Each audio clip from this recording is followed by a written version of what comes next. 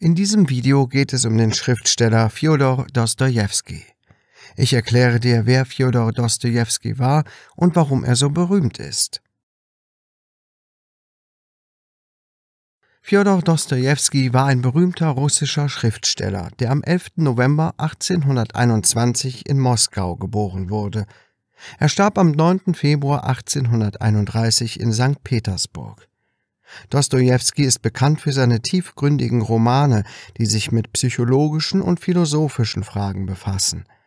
Seine Werke zeigen oft das Leben und die Probleme der Menschen im Russland des 19. Jahrhunderts.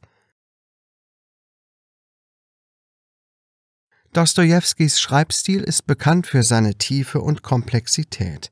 Seine Geschichten sind oft sehr detailliert und zeigen die Gedanken und Gefühle der Charaktere.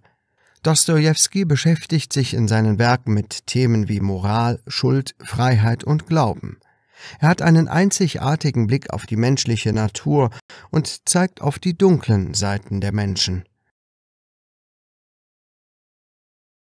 Eines der bekanntesten Werke von Fjodor Dostojewski ist Schuld und Sühne. In diesem Roman geht es um einen jungen Mann namens Raskolnikow, der ein Verbrechen begeht und dann mit den Folgen seiner Tat leben muss. Der Roman zeigt, wie Raskolnikow mit Schuldgefühlen kämpft und versucht, seinen inneren Frieden wiederzufinden. Ein weiteres berühmtes Werk von Dostojewski ist Die Brüder Karamasow. Dieser Roman erzählt die Geschichte von drei Brüdern, die unterschiedlicher nicht sein könnten, und ihrem Vater. Das Buch beschäftigt sich mit vielen philosophischen und moralischen Fragen und zeigt die verschiedenen Lebenswege der Brüder. Fjodor Dostojewski hatte ein bewegtes Leben. Er verbrachte einige Jahre in Sibirien, wo er wegen seiner politischen Aktivitäten inhaftiert und zu Zwangsarbeit verurteilt wurde. Nach seiner Entlassung aus der Haft kehrte er nach St. Petersburg zurück und widmete sich ganz dem Schreiben.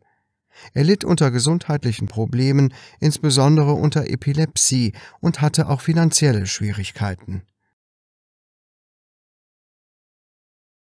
Obwohl Dostojewski bereits zu Lebzeiten als bedeutender Schriftsteller anerkannt war, wuchs sein Ruhm nach seinem Tod weiter. Seine Romane werden heute in vielen Ländern gelesen und gelten als Klassiker der Weltliteratur. Sie haben Generationen von Lesern und Autoren beeinflusst und sind ein wichtiger Teil der russischen Kulturgeschichte.